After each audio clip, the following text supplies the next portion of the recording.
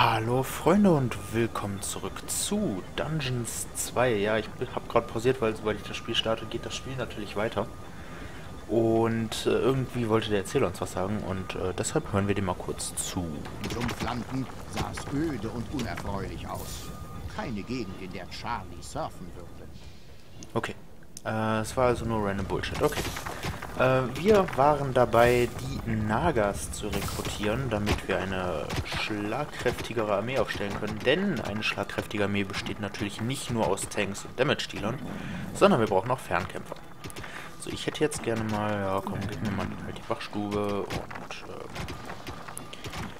ähm, ähm, verbesserte Schatzkammer, dann können wir mehr Gold lagern, das ist auch mal ganz praktisch und schnelleres Heilen ist auch ganz cool. Und wir wollten uns irgend... Genau, hier wollten wir ein äh, Lazarett reinbauen. Allerdings bräuchten wir dafür erstmal noch ein bisschen Gold. Aber unsere Schnodderlinge sind ja schon fleißig am Arbeiten. Ich hole mal noch zwei. Denn dann haben wir acht Stück, die Gold abbauen können und zwei, die äh, sich um die Bierproduktion kümmern. Äh, zahlt habe, zahlen wir 230, das ist kein Problem. Das wird natürlich später noch teurer, vor allem wenn Einheiten aufsteigen, steigt auch ihr Sold. Ne, wir sehen hier Ork Hauptmann und Ork Eisenpelz, das sind die beiden Alternativen, die wir später kriegen. Und bei denen kennen wir schon den Goblin-Schurken und den Goblin Die Wachstube war erforscht und stand bereit für den Bau.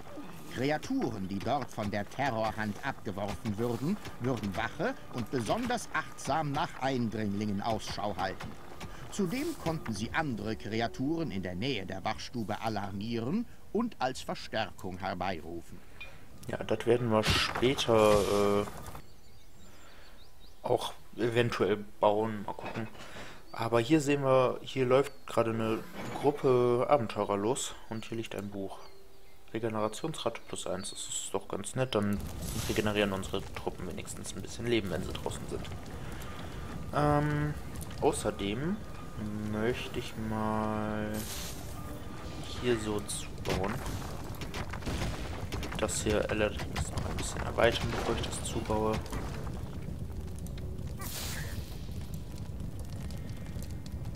Denn ich habe ja schon erklärt, ne, mit den Wänden, dass das durchaus die Effizienz des Raumes steigert. So. Ihr seid Bier am Saufen. Ähm, ne, die wollte ich eigentlich nicht haben. Ähm, wir können noch bessere Schatzkammern, noch schnelleres Heilen, aber wir haben noch keine Dingens. Äh, eine Tür können wir bauen, aber ich würde persönlich erstmal äh, sind in Fallen den Dungeon bauen. eingedrungen. So, und da wir noch keine Fallen haben, holen wir mal unsere mutigen Orks. Und, ach, die macht das schon. Normalerweise könnten wir natürlich mit Zaubern auch ein bisschen helfen, aber da wir die noch nicht haben, da wir auch kein Mana haben, müssen wir dann leider noch ein bisschen uns gedulden. Und einfach damit es schöner aussieht, wollte ich auch wieder zu. So, hab das bald mal. Mann, Mann, sind die langsam. Auf jeden Fall. Wie gesagt, hier wollen wir ein Lazarett reinbauen. Wie viel kostet das eigentlich nochmal pro 60? Können zumindest schon mal ein bisschen was das bauen. Das Ziel der Rache des blutrünstigen Bösen war Krötos, ein Halbgott. Ein überaus gutmütiger Gute-Taten-Vollbringer. Schon die Erwähnung seines Namens sorgte bei finsteren Gesellen für einen ekeligen Belag auf der Zunge. Den kennen wir doch schon, den Spruch. So, dadurch haben wir jetzt auch entsprechend zumindest schon mal zwei Betten. Dann können sich die Orks, die auf der Schnauze bekommen haben, können wir dahin bringen. So, gute Nacht, Jungs. Und dann können die sich ein bisschen regenerieren. So, die bauen weiter Holz ab. Äh, Holz habe ich schon Gold. Die erforschen weiter. Ähm, ja, für den Verdrescher haben wir nicht genug Gold. Den hätte ich gerne als nächstes. Denn der Verdrescher ist meiner Meinung nach die praktischere Falle im Gegensatz zur explodierenden Schatztruhe. Warum, werdet ihr nachher sehen, wenn wir ihn denn erforschen. So, ähm können natürlich hier noch irgendwas hinbauen oder so, aber ich würde das einfach erstmal als Gang offen lassen. Äh, hier würde ich dann nachher einmal ein paar Fallen reinbauen und hier machen wir dann eine Wachstube auf. Und danach werden wir uns hier mal noch ein bisschen durch den Felsen buddeln. Denn meistens findet man dadurch noch irgendwelche nützlichen Dinge. So. Ähm. Hm. Kosten leider haben natürlich alles ziemlich viele Werkzeugkisten. Haben wir erstmal volle 24 verbraucht. Und dann müssen die Goblins erstmal weiter schuften. Würde sagen, wenn wir dann das Gold hier ausgebuddelt haben, buddeln wir uns mal zu den Spinnen durch. Denn meistens wird man dadurch, äh, wird man dafür belohnt, dass man diese Spinnen ausbuddelt und vernichtet. Meistens halt mit einem Buch oder so. Eigentlich fast immer mit einem Buch und manchmal noch ein paar Heiltränke, die man ganz nützlich einsetzen kann. Ähm, achso, der Zugang hier ist zu, okay. Ich wollte gerade sagen, warum habe ich diesen Zugang die ganze Zeit noch nicht bemerkt, aber ist der einfach nur zu. Das erklärt einiges. So, basteln wir hier mal noch weiter.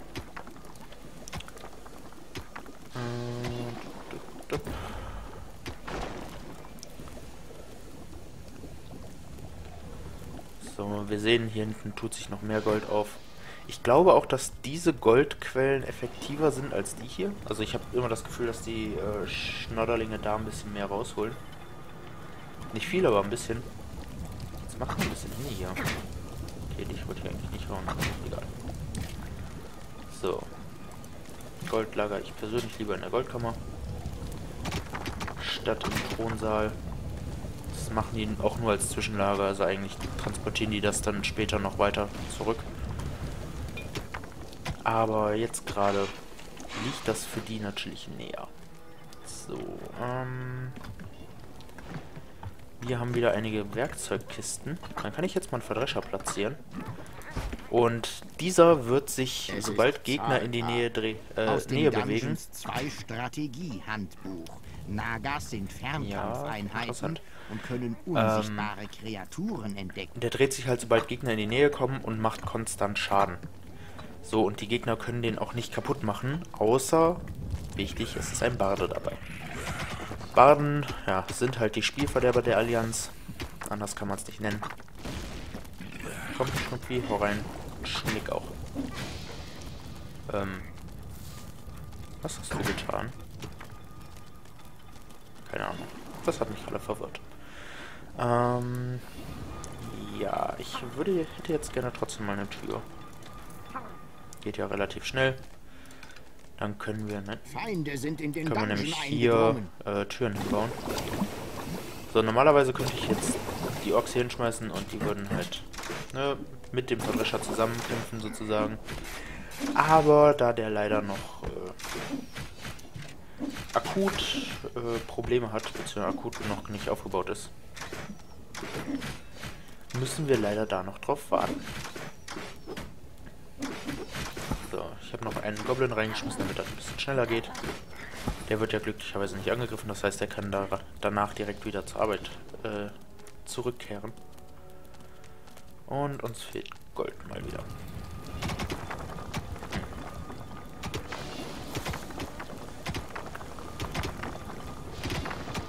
Ah, ja, ich würde sagen, wenn unsere Verteidigung hier steht, ähm, dann können wir uns eigentlich schon mal auf den Weg machen. So. Können wir... Ah ne, das Signalhorn müssen wir noch erforschen. Das können wir später erforschen, das Signalhorn. Ähm, das setzen wir einfach hier rein und da müssen wir keine Leute mehr da reinsetzen. Ähm, ich hatte irgendwie gedacht, dass wir das so schon haben, aber haben wir nicht. Schade leider. Entschuldigung. Ähm, Räume,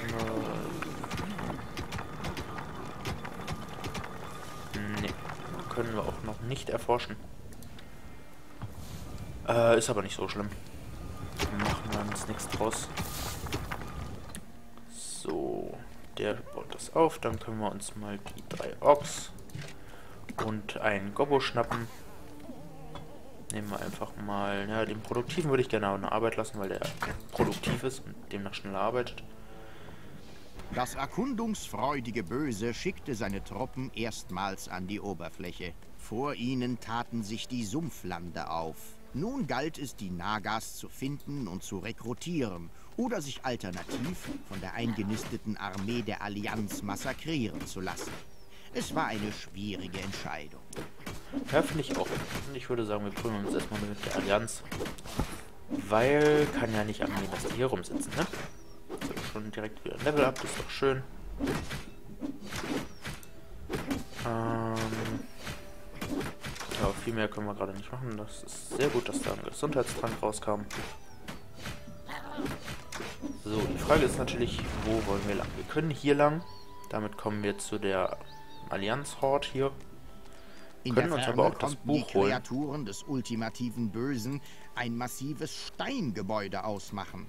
Ein Tempel der Nagas? Offenbar gab es im Norden dazu einen Zugang. Die Horde setzte sich dort. Die Kreaturen des suizidgefährdeten Bösen machten sich auf den okay. Weg in einen heimtückischen Hinterhalt. Letztlich überlegten mal, sie es sich dann aber sind. doch anders. Dann warten wir halt, bis wir ein bisschen mehr Truppen aufbieten können.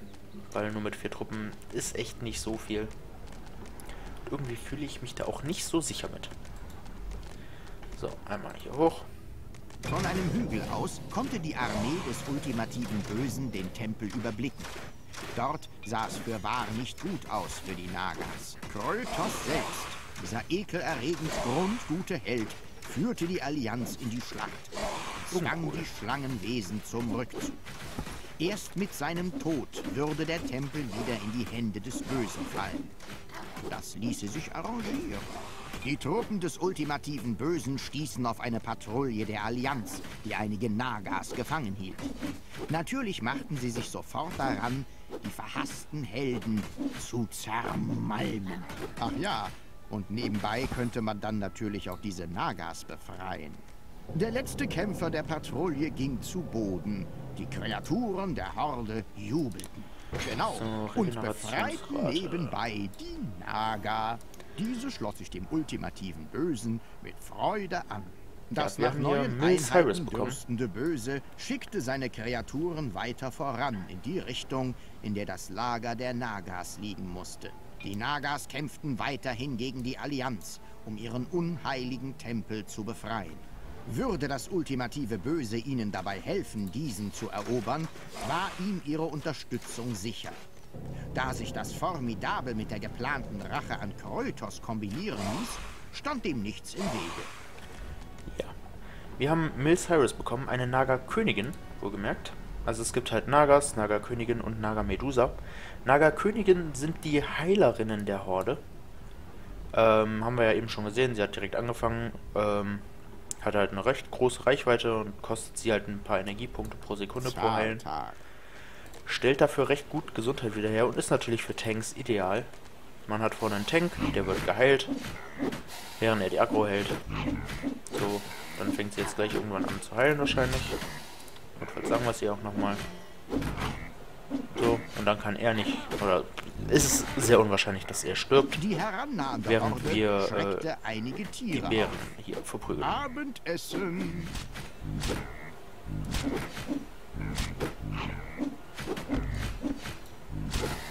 So, was haben wir hier noch? Rüstung teilweise ignorieren. Das ist natürlich auch ganz cool. Das ist vor allem für Goblins ganz nützlich, finde ich. Ähm, kannst du mal kurz... Verdammt. Ja gut, er ist jetzt leider gestorben. Ähm, an sich wäre das kein Problem, wenn wir Zauber hätten. Der wird jetzt einfach hier oben ja, vergammeln. So leid es mir für ihn tut. Ich wollte ihn gerade noch wegziehen, aber ich war zu langsam. Ähm, macht dafür halt äh, wieder ein bisschen Platz. Ja, hier war leider ein 2-2er, aber das macht man jetzt nichts dran. Wäre er im Dungeon, wäre das kein Problem. Dann würde er einfach von einem Schnodderling zur, äh, ins Lazarett gebracht werden und würde dort halt äh, wieder auferstehen. Das funktioniert an der Oberwelt nicht, dafür bräuchten wir einen Zauber. die Bären mühelos besiegt und ihre Vorräte an Bärenfleisch aufgestockt. Allerdings war Bärenfleisch keine Ressource im Spiel, sodass dies völlig irrelevant war. Leider. Ähm, Normalerweise könnten... Wir haben später einen Zauber, hier, äh, panischer Rückzug. Mit dem können wir in einem kleinen Bereich alle unsere Einheiten in unseren Dungeon zurückbeordern. Und zwar auch die Bewusstlosen. Und die werden dann eben wieder äh, behandelt, als wären sie im Dungeon selber gefallen. Sprich, äh, ein Schnodderling kommt, hebt die auf. Ein kleiner Zug von Allianztruppen hatte sich hier versammelt. Durch die Anwesenheit von Nagas konnte das alles sehende Böse Wieso haben die den verprügelt? Einheiten Der hätte zweifelsfrei wahrnehmen. Die hätten die Ochs ergreifen müssen. Was zur Hölle, Spiel. Ach, manchmal... Manchmal mag mich das Spiel nicht. So, sie hat jetzt eine erhöhte Crit-Chance, das ist ganz nützlich. Und weil sie machen nicht wenig Schaden und vor allem sind sie halt weiterhin Fernkämpfer. Äh, deshalb ist das ganz praktisch. Frage mich allerdings, wir haben nur noch zwei Orks. Warum ist denn unsere Bevölkerung nicht runtergegangen? Hm. Naja. Wird sich schon noch zeigen. Das wird sich schon noch klären. So, wir wollen zu den restlichen Endlich Nagas. erreichte die Horde das Lager der Nagas. Kuckuck. Diese konnten dem ultimativen Bösen nur wenig Hilfe anbieten.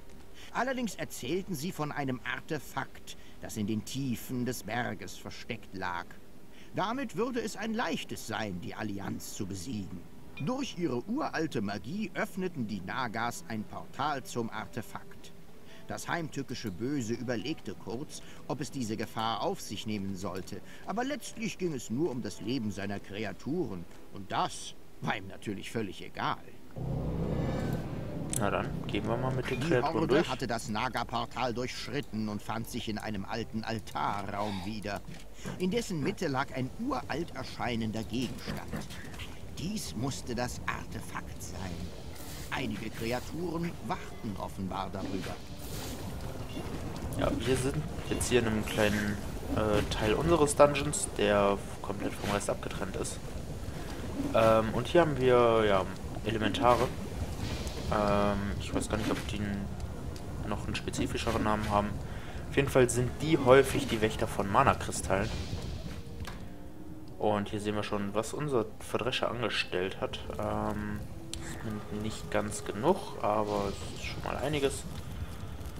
Ähm, ich würde sagen, das schaffen unsere beiden Goblins als im Alleingang.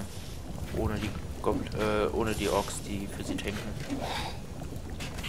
Du stellst dich mal ein bisschen weiter weg, damit du nicht Weiterhin die ganze Aggro ziehst. einige Wächter vergnügt um das Artefakt herum. Diese mussten aus dem Weg geräumt werden.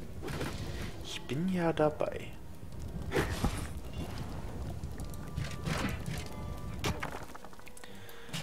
So, wir bauen auf jeden Fall jetzt erstmal da noch eine Tür rein. Denn die Türen halten die Gegner noch weiter auf. Also sie bleiben länger in dem Raum stehen und kriegen natürlich länger auch Damage. Habt ihr es jetzt bald mal? Meine Güte, seid ihr langsam. Ja, sie heilt halt die ganze Zeit noch, deshalb haut sie keinen Schaden raus. Ja, momentan kann ich ihr leider auch nicht befehlen, dass sie angreifen soll, weil wir ja so gesehen in unserem Dungeon sind und demnach auf die Intelligenz unserer Kreaturen vertrauen müssen. Das ist nie gut. Sehe ich da tatsächlich immer noch einen Wächter am Artefakt?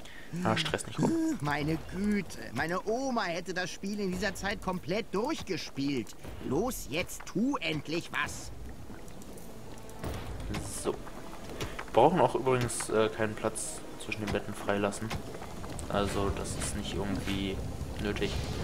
Deshalb können wir das ganze Lazarett einfach voll klatschen.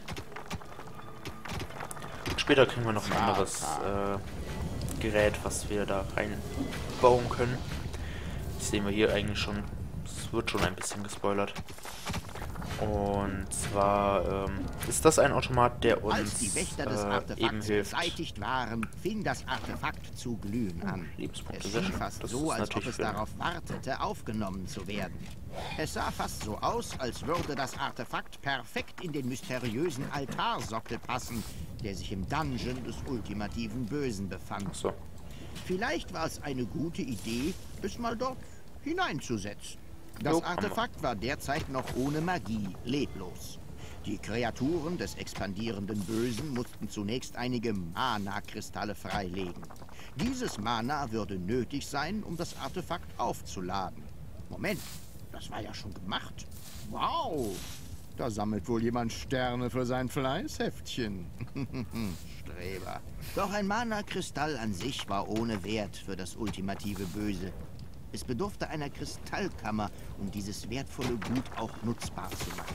Schnell wurde ein Raum unter dem Kristall errichtet. Die Kristallkammer erstrahlte im Glanze eines neu erbauten Raumes, in dem es noch nach frischer Farbe aus dem Baumarkt riecht.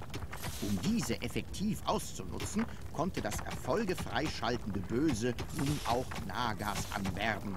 Zudem wurden ihm passenderweise genau jetzt vom Clan einige der Schlangenwesen zur Verfügung gestellt. Ja, das ist ja nett von dem Clan. Ja, wir haben einiges an Mana, äh, an Mana sammelnden Nagas bekommen. Und jetzt kann ich hier auch mal ein bisschen zeigen. Wir können, äh, haben halt noch nicht genug Mana. Wir können bildet die Horde, das ähm, ist, also wir können die ersten drei Zauber erstmal freischalten. Ne, Quatsch, gar nicht mehr. Hey, wieso kriege ich meinen panischen Rückzug nicht? Also wir würden theoretisch die ersten vier Zauber kriegen, aber panischer Rückzug fehlt. Schweine. Ähm, ja, äh, bildet die Horde wir setzen irgendwo in unserem Dungeon ein Banner und alle Einheiten lassen ihre Arbeit Offenbar war den Magiern der Allianz nicht dahin. entgangen, dass sich im Untergrund etwas Beunruhigendes abspielte. Und so beschlossen sie, machtvolle Angriffe gegen den Dungeon zu führen. Doch das ultimative Böse war gewarnt. Also durch mich jetzt gerade. Und baute eine formidable Verteidigung, die jedem Tower Defense-Spieler die Tränen in die Augen getrieben hätte. Ja, haben wir schon stehen. Ähm, ja, bildet die Horde. Alle Kreaturen, die kämpfen können, lassen ihre Arbeit fallen und gehen sofort dahin. Ähm, der Blitzschlag, ja, ist halt einfach ein Blitzschlag. Wir schmeißen irgendwo ein paar Blitze hin. und unsere äh, Gegner erleiden halt dementsprechend an diesem Punkt Schaden. Ich sehe gerade, die haben einen Baden dabei. Der muss sofort aufgeladen werden.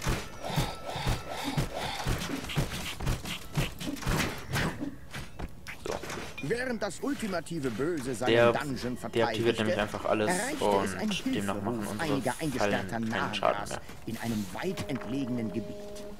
Vielleicht konnte es sie mittels eines Zaubers retten, den es in der Kristallkammer freizuschalten galt. Ah, jetzt können wir es sogar machen. Brauchen wir nur Mana für. Ähm, ja, Blitzschlag, wie gesagt, macht halt ein bisschen Schaden. Ist ganz praktisch. Und der für die Horde ist halt ein Kampfschrei, der unsere Kreaturen ein bisschen äh, stärker zuschlagen lässt. Und ja, das ist, sind die ersten vier Zauber, die wir zur Verfügung bekommen. Äh, wenn wir jetzt das Mana bekommen, dann können wir auch, wir können natürlich in den äh, Kristallkammern unterschiedlich forschen. Also wir können in dieser Kristallkammer hier erforschen wir erstmal äh, ein erhöhtes Bevölkerungsmaximum, dass wir ein paar mehr Kreaturen ausbilden können. Und hier werden wir dann gleich den panischen Rückzug erforschen können. Was ich auch tun werde, weil den will ich haben. Äh, außerdem wollte ich mich mit den Spinnen gleich mal anlegen. So, was sagt denn eigentlich hier unsere Schatzkammer? Nachdem die, die Welle für Welle Taktik der Allianz bisher keine Erfolge gebracht hatte, hatte ein strategisches Genie sich entschlossen, frei. einen zweiten Eingang nach unten zu öffnen, um dort Einheiten, nun ja, Welle für Welle in den Dungeon zu schicken. Ach, jetzt haben die das auch aufgemacht. Na super. Äh, okay, die greifen jetzt die Tür an. Die haben keinen Baden dabei, das ist ganz angenehm. Das Artefakt füllte sich mit Magie. Es dauerte weder zu lange, noch ging es zu schnell. Es war genau dann vollständig gefüllt, als der Level-Designer es beabsichtigt hatte. Wunderschön. So, wir können da nachher mal aufräumen. Äh, ich denke mal, die hier, ja, die werden von dem Verdrescher alleine schon fertig gemacht. Das reicht. Dann können wir mal unsere Orks nutzen. Und, ja, hallo, ich gerade sagen. Ich hätte gerne mal ein paar Nagas. Achso, die drei oben hier, das sind hier die drei. Okay. Sag mir das doch. Äh, ich hätte gerne mal die Naga und die Naga. Hier beide dahin, hier drei nach vorne. Es sind Feinde in eurem Dungeon. So, hier erforschen wir jetzt mal den panischen Ah, Rückzug. Hier den Kampfschrei. Habe ich kein Mana für. Dann hole ich mir halt noch mehr Blöcke. Ja, und das sollte man natürlich auch nutzen. Immer weiter wurde das Artefakt mit Magie geladen. Bald würde es soweit sein. Ja, wir müssen das Artefakt 50 eurem Sekunden lang beschützen. Das kriegen wir hin. So, gerade eben noch. Ja, die sterben einfach wieder am Verdrescher. Das ist gut. Das habe ich gerne so. Moment. Falle nicht mehr funktionsfähig. Warum das? Wieso hat der aufgehört zu arbeiten? Das finde ich voll nicht in Ordnung. Ah, dann machen wir es halt mal auf die gute alte Blitzschlagmethode. Brutzel, Brutzel. Und dann kein Mana mehr. Hm. So, ihr seid fertig. Dann kann ich meine drei, vier neuen Orks da abschmeißen. Dann können die sich darum kümmern und schon mal ein bisschen leveln. Ähm, außerdem können die Nagas weiterarbeiten. nahezu vor Energie. Es war nun bereit, dem ultimativen Bösen bei der Eroberung des Tempels zur Seite zu stehen und produzierte eigenständig Mana. Zudem erlaubte es dem ultimativen Bösen einen Zugriff auf einige weitere Zauber. Nun war es an der Zeit, den Tempel zu erobern und Krötos zu vernichten. Das ultimative Böse zog seine Truppen zusammen, um sie in einer gemeinsamen verheerenden Welle angreifen zu lassen. Ja, das machen wir später. Ähm, wir müssen jetzt erstmal gucken, dass hier unsere Verteidigung ins Laufen kommt. So, äh, da ist schon wieder einer. Die Fallen am deaktivieren. Schweine. Bei. Ich mach das mal gerade ganz. Ah, was heißt ganz? Ich mach's mal halbwegs klug. Ich halte mal unsere Einheiten in der Hand. Warte, bis die ganzen Typen mal zu unserem Dungeon-Herz kommen. Dann schmeiß unsere Einheiten da mal hin. Dann werden die jetzt gleich das Dungeon-Herz angreifen und unsere Kreaturen stürzen sich dann auf die. Und währenddessen nutze ich meinen Mana, um den Baden auszuschalten. Denn ich mag den Baden nicht. Du bist viel zu voreilig, Kumpel. Würdest du sonst mein Leben bezahlen? Sei froh.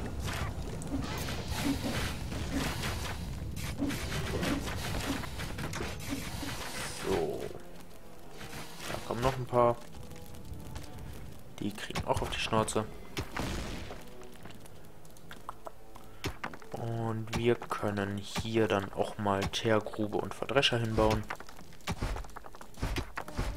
In einem geheimen Raum waren einige Kreaturen versteckt gewesen, die sich dem ultimativen Bösen angeschlossen hatten. So.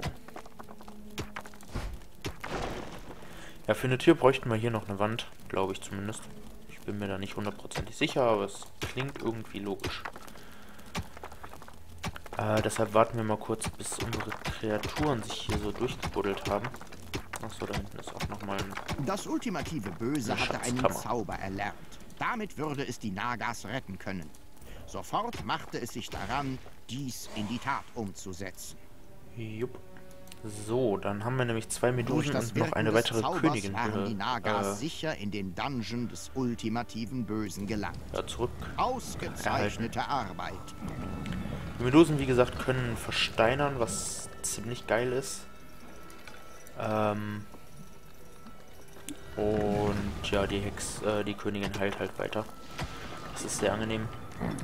Ja, wir sind immer noch nicht zu den Spinnen durchgebrochen. Das hat mich persönlich ein bisschen überrascht, aber äh, also ich hätte gedacht, dass wir mittlerweile die R äh, dahin kommen, aber gut. Ähm, ich hätte Feinde gern sind mal noch ein paar. Goblins und noch ein Ork. Ach, Jungs. Na kommt, dann prügelt euch halt mit meinen Orks hier. Da, da. So. Viel Vergnügen dabei.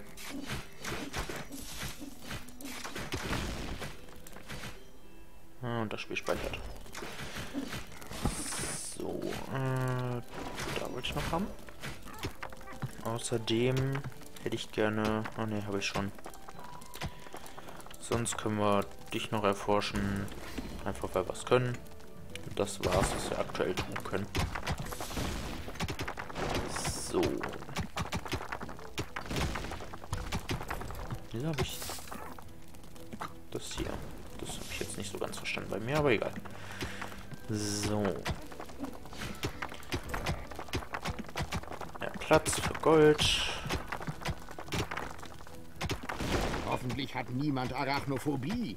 Ein Spinnennest wurde entdeckt. Dankeschön. So, da können wir auch wieder unsere Orks reinschmeißen, dann können die nämlich ein bisschen arbeiten, beziehungsweise ein bisschen kämpfen lernen. Okay, damit wir uns richtig verstehen. Du sollst endlich Krötos angreifen und fertig machen. Große Endschlacht und so. Alles klar? Dann los! Attacke! Nö, gerade noch nicht. Zahltag. Ähm... Denn ich will erst noch äh, mein Dungeon zu Ende erkunden. Beziehungsweise auch zu Ende erforschen und alles. Feinde sind in den Dungeon eingedrungen. So, ich denke mal, wenn wir das aufbrechen, kommt das nächste Spinnennest. Die Orks gehen wieder an die Arbeit.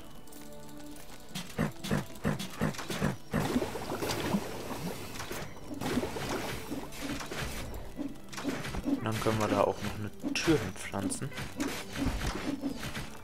So, sehr schön. Die Wachstube bringt hier zwar nichts, aber wir bauen sie trotzdem. Einfach weil. Es sind Feinde in eurem Dungeon. So. Das hier können wir theoretisch auch schon alles wieder zuschütten, weil wir brauchen es ja nicht mehr. Glücklicherweise äh, handeln die Schnodderlinge, was das angeht, sehr intelligent. Das heißt, die werden erst hier hinten anfangen, das zu buddeln Spinnen und sich dann nach vorne arbeiten. Untergrund breit gemacht. So. Dann verprügeln wir auch nochmal die Spinnen. Die Allianzler da hinten kriegen von unserem Verdrescher auf die Nase. Und hier sehen wir ähm, eine noch effizientere mit äh, Goldquelle. Regenerationsrate, ja komm, gönn dir. Und Chance für kritische Treffer. Das habe ich persönlich lieber auf äh, Nagas. Oder halt auf Goblins. Ähm Na komm. Das bekommst du. Äh, was macht ihr hier, Jungs? Habt ihr nichts zu tun? So, da kann auch noch zugeschüttet Es sind werden. Feinde in eurem Dungeon. Und dann werden wir die letzten paar Bevölkerungspunkte noch weiter aufbrauchen. Mehr können wir momentan auch nicht erforschen. Äh, es geht später noch weiter hoch. Es geht über 30, aber aktuell halt nicht. So, noch von jedem eins. Dann würde ich auch einfach sagen, schnappen wir uns erstmal alle Kreaturen, schmeißen die vor die Nase der Gegner. Es gibt leider keine Taste, mit der man alle Kreaturen aufheben kann. Das würde ich mir noch wünschen, so ein bisschen. Außerdem ist es übrigens immer sinnvoll, ähm, zuerst seine Tanks aufzuheben. Denn, äh, zuletzt seine Tanks aufzuheben, Entschuldigung. Denn was man zuletzt aufhebt, wirft man zuerst ab. So, und das führt halt dazu, wir schmeißen dann zuerst immer unsere Orks irgendwo rein. Ehe wir dazu übergehen, äh, den Rest abzuschmeißen, und zwar in sicherer Entfernung, sodass die nicht direkt angegriffen werden können. Und sich nur wenige Meter bewegen müssen, um selber an der Schlacht teilnehmen zu können. Vor allem bei den Nagas, die ja eh Fernkämpfer sind, ist das ganz sinnvoll, die nicht in Nahkampfreichweite abzuwerfen. Und die Goblins, ja, die kriegen meiner Meinung nach wesentlich zu schnell auf die Mütze. So, wir haben nichts mehr in Dungeon an Kreaturen, aber das brauchen wir auch nicht. Übrigens äh, noch ein kleiner Hinweis zu ja, Spiel. Dankeschön. Die Kreaturen des so. unsagbaren Bösen näherten sich dem Lager der Allianz. In dessen Hintergrund ragte ein eindrucksvoller Staudamm in den Himmel. Doch dieser Weg führte nicht weiter und endete in nichts. Mühelos vernichtete das ultimative Böse, oder genauer seine Kreaturen, das Lager der Allianz. Hier würde es vielleicht später ein Luxushotel für gestresste Dungeon Manager errichten lassen. Ja gut, hat sich ja jetzt richtig gelohnt hier. Ähm, übrigens, was zu Zaubern noch zu sagen ist, äh, wir können natürlich nicht überall auf der Map zaubern. Wir können, ich weiß gerade nicht, theoretisch, das hier müsste eigentlich schon verdorben genug sein, um damit wir da zaubern können. Aber wir können zum Beispiel nicht irgendwie einen Zauber hier in das Lager reinschmeißen. Das funktioniert so nicht. Aber, äh, naja. So funktioniert das. Die Kreaturen sind noch angewählt. Gehen die jetzt alle automatisch da hinten durch? Das wäre voll gut. Sieht nämlich gerade irgendwie stark danach aus. Oh, sehr schön. Danke, Spiel. Wenigstens ein bisschen was. So, also hier können wir zaubern. Hier könnten wir zum Beispiel schon nicht zaubern. Ist halt gerade wichtig für panischen Rückzug. Da muss man immer darauf achten, dass die Kreaturen halt entsprechend auch in der Lage sind, beziehungsweise dass man in der Lage ist, dort zu zaubern. Äh, was macht ihr hier eigentlich? Mitkommen, bitte. Ihr habt zu tun.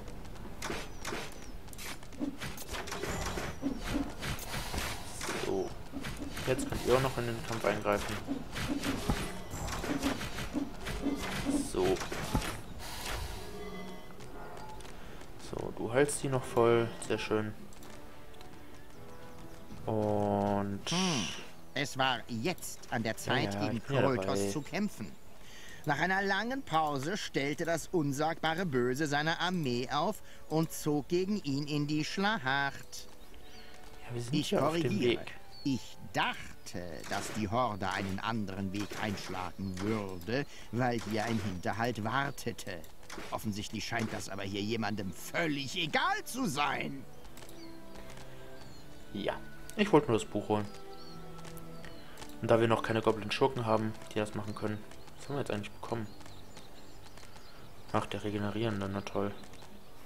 Das, was man eigentlich nicht unbedingt auf Goblins braucht. So, unsere Nagas können mal eben schnell heilen, bitte. Ich habe meine Truppen lieber voll geheilt. Und dann würde ich sagen, das Heilen können die auch eben offscreen machen. Beziehungsweise wenn die offscreen weitermachen. Ich mache jetzt hier Schluss. Und in der nächsten Folge ziehen wir dann gegen Krötos in die Schlacht. Den ollen Halbengel hier. Zum Halbgott. Ne, Allianzler. Ekelhaft.